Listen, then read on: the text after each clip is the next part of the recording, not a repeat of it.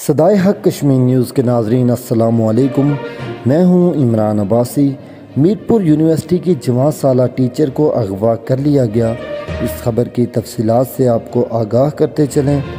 बन खुरमा से अगवा होने वाली 24 साल टीचर आठ माह गुजरने के बावजूद बाजियाब न हो सकी। पुलिस थाना न्यू सिटी अगवाकारों के खिलाफ कार्रवाई करने से गुरेजा। मुगविया का वालिद और वालदा दाद रसी के लिए अदालत न्यूज़ ऑफ़िस पहुँच गए। तफसीत के मुताबिक बिम्बर के रिहायशी इश्तियाक अहमद और उनकी एहलिया ने अदालत न्यूज़ को बताया कि उनकी 24 साल बेटी, यूनिवर्सिटी टीचर इसमा को पुलिस थाना न्यू सिटी की हदूद बन हुरमा से आज से आठ माह कबल अगवा कर लिया गया।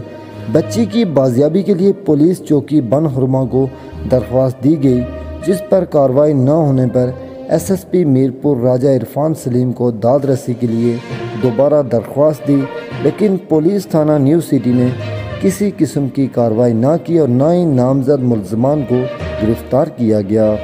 आठ माह गुजरने के बावजूद बच्ची की बाजियाबी न होने पर डीआईजी मीरपुर रीजन चौधरी सजाद से अपील की कि डीआईजी और एसएसपी के अहकाम के बावजूद पुलिस लैत लाल से काम ले रही है।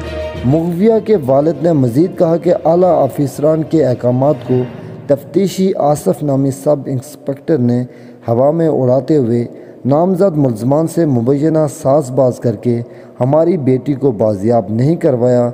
इश्तियाक अहमद ने कहा कि अगर हमारी बेटी को कोई नुकसान पहुँचता है तो उसकी तमाम तर ज़िम्मेदारी पुलिस थाना न्यू सिटी के सब इंस्पेक्टर आसिफ और अमला पर होगी। मुगविया की वालदा ने IG Azad Kashmir DIG Mirpur, regional SSP Mirpur से अपील करते हुए कहा कि हमारी बेटी को बाजियाब करवाया जाए और पुलिस मुलाजमीन की जानब से सास बार और मिली भुगत का भी नोटिस लिया जाए।